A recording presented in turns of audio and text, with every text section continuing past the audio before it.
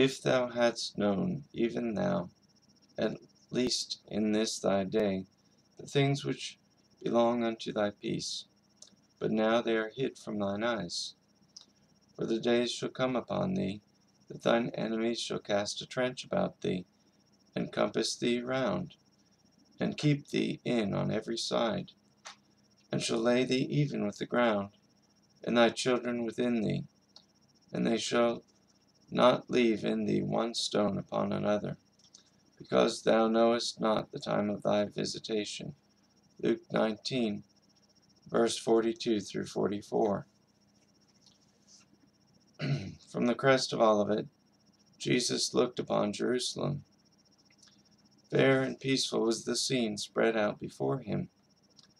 It was the season of the Passover, and from all lands the children of Jacob had gathered there to celebrate the great national festival.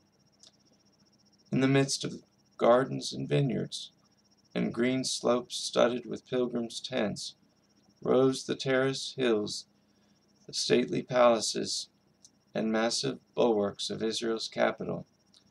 The daughter of Zion seemed in her pride to say, I sit a queen, and shall see no sorrow.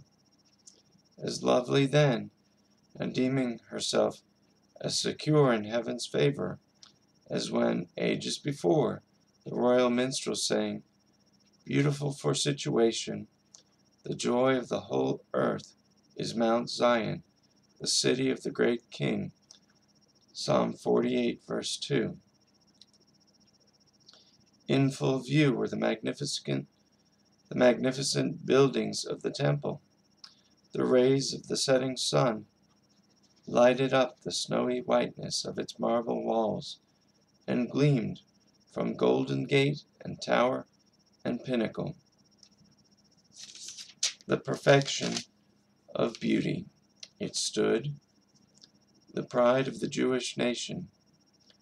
What child of Israel could gaze upon the scene without a thrill of joy and admiration?